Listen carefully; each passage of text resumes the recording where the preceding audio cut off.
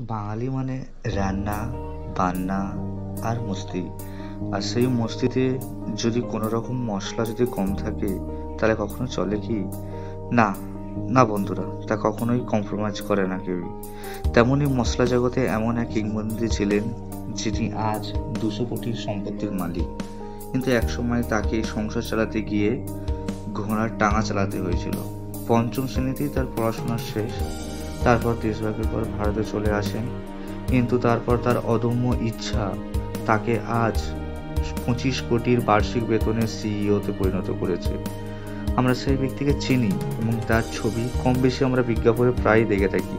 তিনি হলেন মহাশয় ধর্মপাল গুলাটি। তার ছয় সন্তান। তিনি এক বিজ্ঞাপন জগতে এক নজির এবং মশলা জগতে তার অভি, অভিনয় অভিনয় আজও মানুষকে পাগল করে রেখেছে। একসময় শোনা যায় যে এক বিজ্ঞাপনের জন্য অভিনেতা আসেনি তাই তিনি নিজেই কনেদের আশীর্বাদী করতে নিজেই অভিনেতা বনে যায়। তার ভারতীয় মশলার বাজার বা এমডিএইচ কোম্পানি আজ স্বাদের ব্যাপারে কোনো কম্প্রোমাইজ করে না।